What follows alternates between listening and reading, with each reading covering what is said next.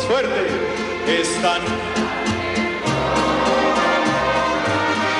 Hoy en el túnel del tiempo de No lo cuentes llega el hijo pródigo de Torreón, afamado cantante de rancheras que se ha vuelto de los consentidos del público por su trabajo y dedicación. Él es Oscar Daniel Hernández Rodríguez. Usted lo conoce como Pablo Montero.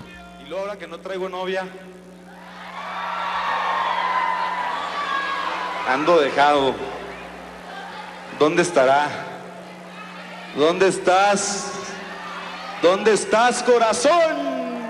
Nació un 23 de agosto de 1974 en Coahuila, fruto del amor entre el señor Javier Hernández y la señora Mercedes Rodríguez. En la música está nada más y nada menos que apadrinado por Vicente Fernández, carrera que comenzó en 1999 y que ha visto su mutación con diferentes cambios de imagen, desde lo casual a el típico traje de mariachi. Yo quiero que la música mexicana no muera y para eso se necesitan cantantes nuevos.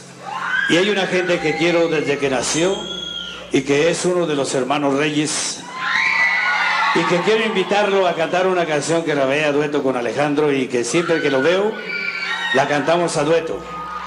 Yo quisiera un aplauso bien bonito para darle muchos ánimos a Pablo Montero.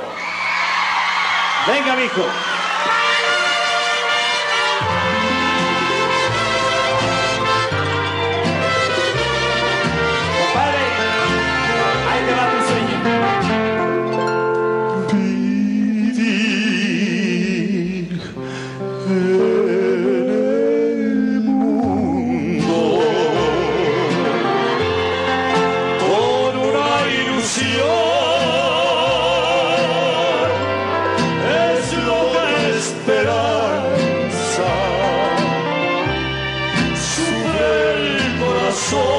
Con su 1,83 de estatura ha conquistado a la audiencia mexicana, en Latinoamérica y a los hispanos que radican en Estados Unidos. Y no solo con sus más de una decena de discos en el mercado, sino con su participación en telenovelas que ahora lo avalan como actor.